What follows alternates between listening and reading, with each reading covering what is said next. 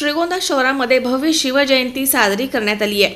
पंधरा फेब्रुवारीपासून ते एकोणावीस फेब्रुवारीपर्यंत अनेक सांस्कृतिक कार्यक्रमांचं आयोजन यावेळी श्रीगोंदा शहरामध्ये करण्यात आलं होतं.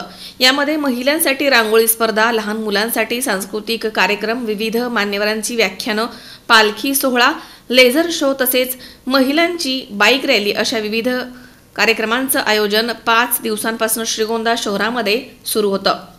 त्यामुळे श्रीगोंदा शहर शिवमय झाल्याचं चित्र बघायला मिळालंय.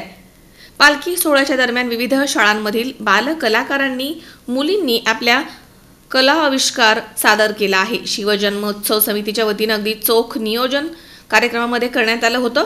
जोधपूर मारुती चौकामध्ये उभारलेला भव्य असा देखावा सर्व श्रीगोंदेकरांचं लक्ष वेधून घेणारा ठरलाय.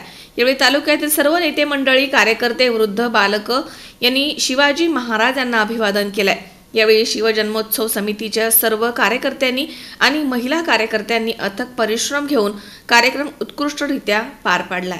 सुहास कुलकर्णीसह अमोल उदमले सी चोवीस तास श्रीगोंदा.